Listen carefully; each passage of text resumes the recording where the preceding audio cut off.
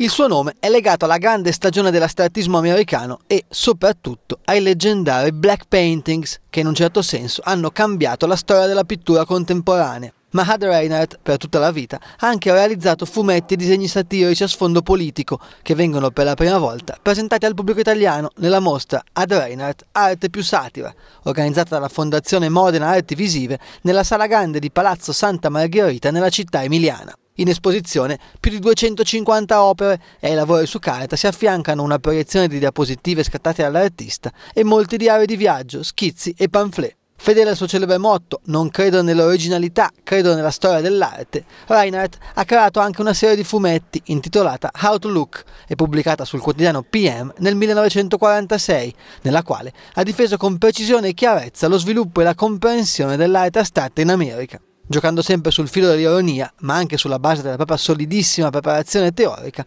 l'artista ha raccontato l'arte in giro per il mondo, allargando sempre e in modi imprevedibili la nozione di estetica. E per chi volesse scoprire tutta questa produzione di Reinhard, raccolta a Modena con la curatela di Diana Baldon, c'è tempo fino al 20 maggio.